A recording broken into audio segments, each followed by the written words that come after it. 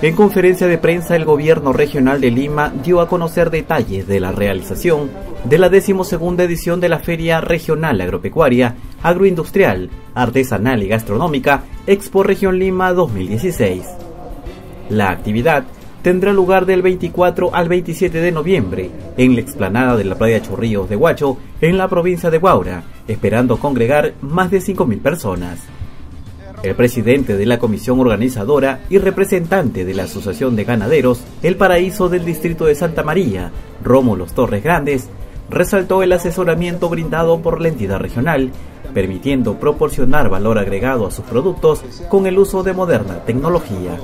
La idea es, creo que todos lo vemos ¿no? como una exhibición de los avances que tenemos año a año, de todo lo que es tanto agropecuaria como ganaderas. Los segmentos son, tenemos el gastronómico, que es lo importante, el gastronómico. Además del gastronómico tenemos el gran mercado.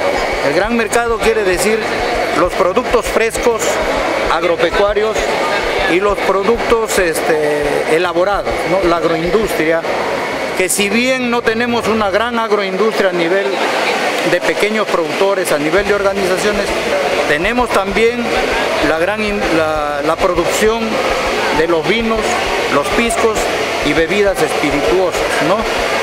Eh, vacunos de leche, a nivel nacional ya nos hemos convertido en la primera potencia nacional en cuanto se refiere la región Lima en, productividad lechera. Un evento ferial que servirá para poner en vitrina las potencialidades con que cuentan las nueve provincias al recibir la visita de proveedores, distribuidores, comercializadores, empresas financieras y consumidores. Le agradezco a cada una de las personas que han estado a cargo para que este magno evento se lleve a cabo en nuestra región y en esta oportunidad la Super Abeja va a estar presente para ofrecer los productos directamente del panal, ¿no? Tenemos la miel, el polen, la jalea real, el propóleo.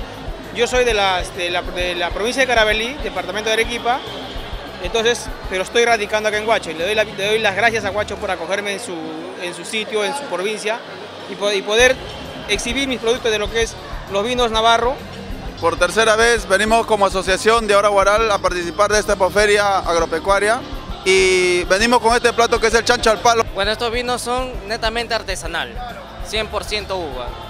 Son, son uvas cosechadas en nuestro propio viñedo, elaborado, elaborado en nuestra bodega.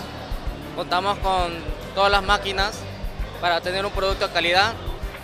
Pisco producido en Huacho, Gracias a los equipos donados por el ingeniero Nelson Chuy en su gestión anterior, podemos producir ahora piscos de calidad en este valle de Guaura. Tenemos macerados, tenemos cóctel de guanábana, chilcano de hierba luisa. Este es un pisco cholado, tenemos piscos italias.